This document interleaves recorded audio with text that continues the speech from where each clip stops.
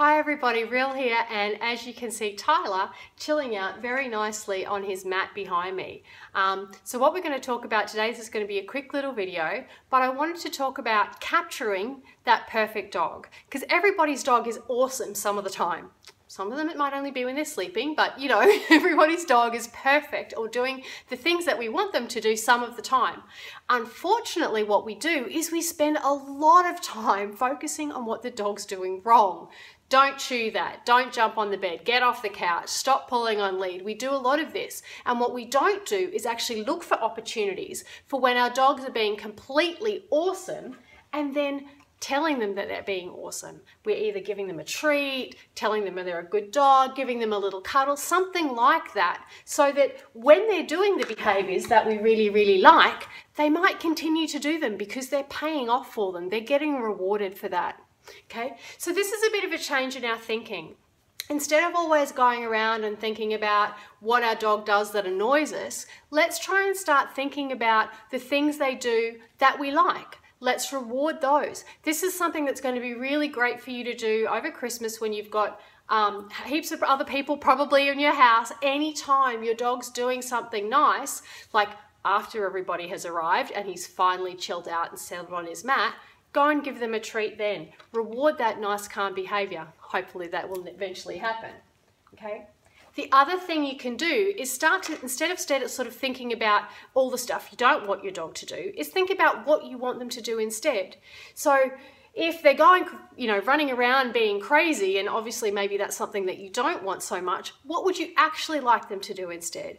And maybe it's this, maybe it's chill out nice and quietly on their mat. Now, that's not necessarily a really, really easy thing to get straight away, but what you can start to do is two things. One, you capture when it does happen. You can start that right now. Get yourself a little pile of treats, maybe when you're sitting around watching TV, and if your dog's chilling out somewhere nicely, surprise them with a treat. They love that. Sometimes they'll you get a bit of a look on their face where they go, what was that for? I wasn't doing anything.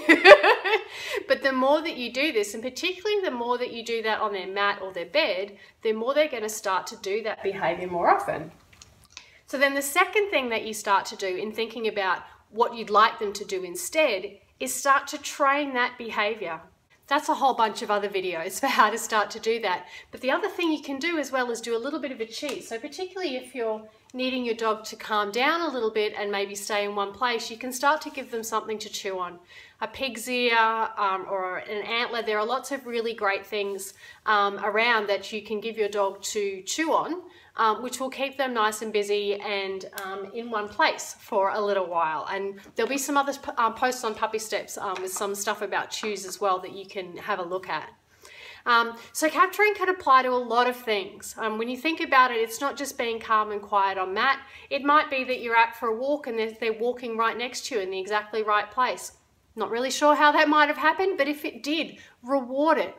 If you come home and your dog's jumping on you and then suddenly they stop jumping on you, and assuming that's what you'd prefer them to do instead of jump on you, reward that when they stop doing it. Look for those opportunities for when your dogs are already being that perfect dog that you want, and then reward them for it. They'll start doing those behaviors more often.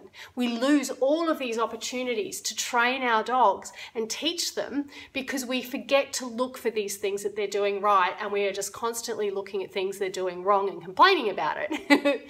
so have a go at this over the next few weeks. Capture your dog anytime, anytime they're doing anything that you like.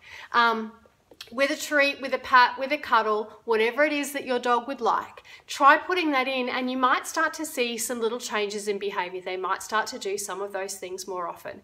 We'd really love for you to um, let us know if that happens or if you have any questions, please jump in the comments um, and ask those of us as well.